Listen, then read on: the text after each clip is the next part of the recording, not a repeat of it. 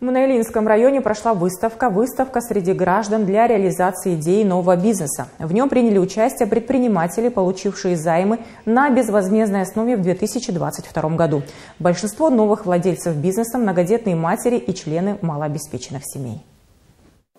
Турсная Акназарова – одна из тех, кто ранее получила невозвратный грант. С самого раннего возраста девушка шила одежду, необходимые в быту вещи. А год назад она приняла участие в конкурсе грантов при поддержке предпринимательства района и стала обладателем 1 миллиона 200 тысяч тенге. На полученные деньги она расширила свое дело, открыла небольшое ателье и наняла двух человек. Э, в настоящее время развивая свой бизнес, принимая заказы на пошив казахской национальной одежды и жайнамазы. Это была прекрасная возможность для нас со стороны государства, для многодетных матерей. Большое спасибо. В 2022 году на получение невозвратных займов обратились 237 мангостауцев. Из них 141 получили гранты и стали владельцами различного бизнеса.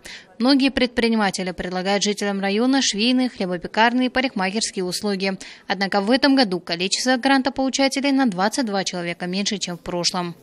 Э,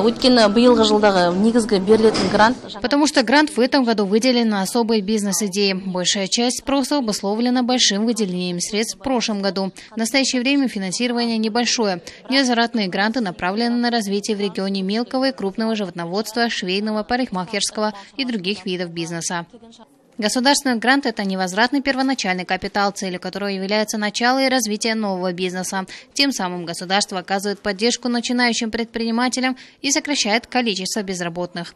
Ажан Сабит Дидар.